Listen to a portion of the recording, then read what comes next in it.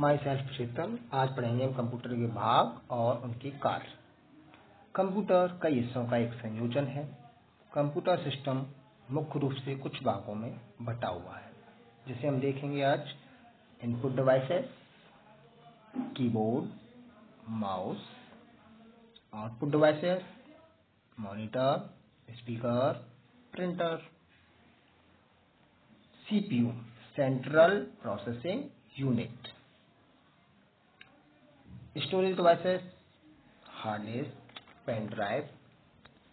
आइए इन उपकरणों को एक एक करके समझते हैं। Input devices. यह बटन दबाकर कंप्यूटर में डाटा दर्ज करने के लिए उपयोग किया जाता है। कीबोर्ड में विभिन्न प्रकार के बटन होते हैं जैसे alphabet keys number keys symbol keys function keys mouse mouse एक पॉइंटिंग डिवाइस है। हम माउस के बटन दबाकर या खींचकर माउस के माध्यम से इनपुट दे सकते हैं। एक माउस में आमतौर पर दो बटन होते हैं और एक स्क्रॉल व्हील होता है।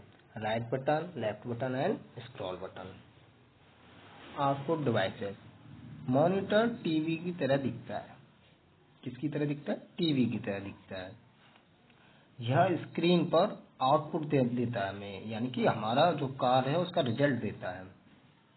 मॉनिटर के कुछ नए प्रकार हैं LCD monitor and LED monitor अब आता है स्पीकर स्पीकर एक आउटपुट डिवाइस है। यह ध्वनि प्रदान करता है, यह हमें संगीत सुनने में मदद करता है। Thank you